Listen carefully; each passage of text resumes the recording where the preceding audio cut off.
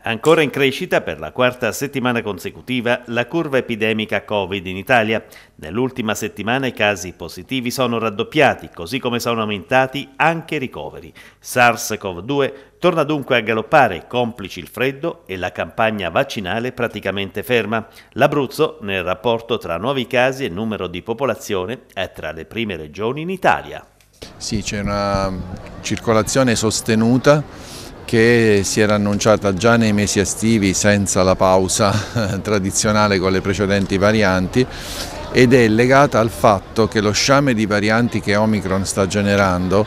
eh, fa sì che eh, l'infezione da SARS-CoV-2 con queste varianti super trasmissibili sia frequente, anche se non necessariamente eh, importante, ma la circolazione e del virus è garantita dalla sua infettività. Quindi questo che stiamo vedendo adesso con l'incremento della, della, vita al chiuso, col, col mantenimento di un assetto organizzativo senza mascherine e senza nessuna sostanziale protezione è proprio il risultato di quello che eh, era già iniziato quest'estate. Indicatore in crescita sia per quanto riguarda il numero di nuovi positivi che per l'impatto sulle strutture ospedaliere anche se la situazione rimane sotto controllo. Sì, la situazione rimane senz'altro sotto controllo, però quello che lei dice è molto corretto, abbiamo avuto 14 polmoniti importanti nelle ultime 10-12 giorni nell'AS di Pescara, un segnale che eh, la popolazione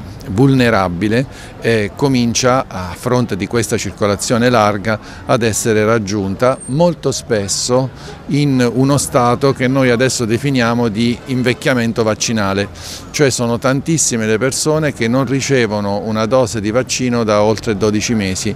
e la protezione purtroppo scende molto rapidamente, quindi bisogna decisamente prendere in considerazione in questo contesto il ricorso alla vaccinazione. Lo diciamo sempre ma è quanto mai necessario in questo momento. Per quanto riguarda le cure farmacologiche cosa fare professor Parruti? Ecco, questa è, la, questa è, la, novità secondo me più importante, nel senso che le persone a rischio di sviluppare delle forme importanti devono essere valutate dal proprio medico curante entro le prime 24 ore dalla notizia dell'infezione e se sono effettivamente riscontrate a rischio aumentato di progressione verso la polmonite ma anche verso le altre complicanze non polmonari,